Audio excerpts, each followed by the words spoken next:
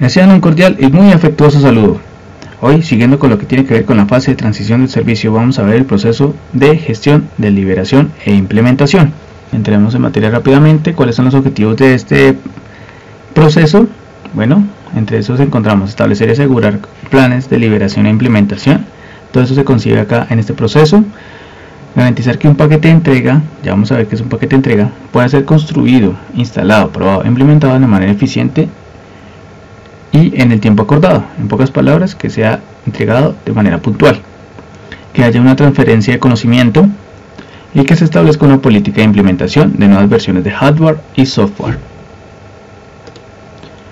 Vamos a ver algunos conceptos que aplican para este proceso como tal. Entonces, liberación. ¿A qué hace referencia a la liberación? Entonces hace referencia a los cambios en servicios de TI o elementos de configuración que se crean, prueban e implementan de manera conjunta. Ahora bien, ¿qué es la implementación? Es como tal la actividad que se encarga de pasar del ambiente de pruebas al ambiente de producción la nueva implementación. Esto obviamente después de que haya pasado por un proceso exitoso de pruebas. Y dentro de esta implementación se puede incluir hardware, software, documentación, nuevos procesos, entre otras cosas. Unidad de implementación, entonces como tal es una porción del servicio o porción de la infraestructura que es implementada dentro de un conjunto o que es implementada conjuntamente.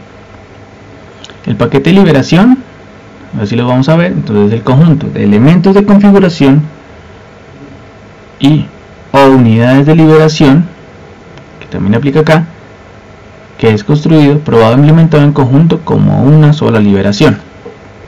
Entonces, una unidad de implementación hace parte de un paquete de liberación. Otros conceptos adicionales, entonces identificación de la liberación, entonces la convención donde se identifica de forma única una liberación, ese es un código de referencia registro de la liberación, entonces como su nombre nos indica es un registro que define el contenido de una entrega, el detalle de todos los elementos de configuración afectados por la liberación y las relaciones entre estos. Las fases como tal de la liberación e implementación, entonces la primera fase es lo que tiene que ver con la planeación de la entrega, la segunda fase la que tiene que ver con construir y probar la entrega,